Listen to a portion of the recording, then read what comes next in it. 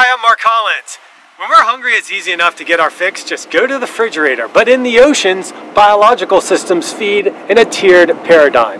The big fish feed on smaller fish, and the smallest things are the primary producers. Those producers are the teeny plankton. Coming up, I'm going to show you how girls look at it with some big surprises and take on a dare that would make most folks gag.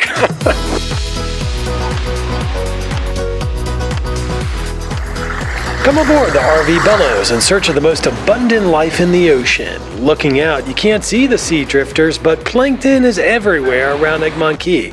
Just one drop can hold 3,000 mostly microscopic plants and animals. In this USF oceanography camp for girls, eighth graders see how life starts small in the sea. Special nets are dragged behind the Florida Institute of Oceanography's research vessel to scoop up organisms at the base of the food web. After several minutes, the plankton nets are pulled up and hosed down, with the organic briny rinse concentrated in a container. The algae stench is truly unappetizing. Yet over the years, Dr. Teresa Greely developed a learning ritual that takes courage, and I get to test the waters. Part of the study here is to look at the plankton, to see the texture, to see how much plankton's in the cup, and of course, bottoms up to drink it.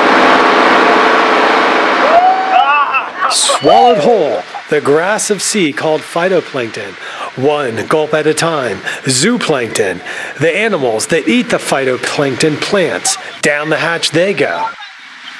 Now, had the students come face to face with the life in the cup, there would almost certainly be no takers for this communal drink.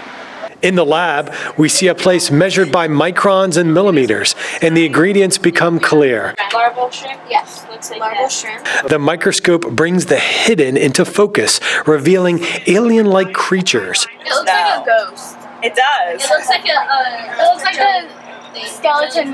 The armor of a copepod exoskeleton bumps against oval fish eggs. Oh, they're like little kind of cookies. Diatoms intrigue students when they learn half of all the phytoplankton come from these silica-based algae.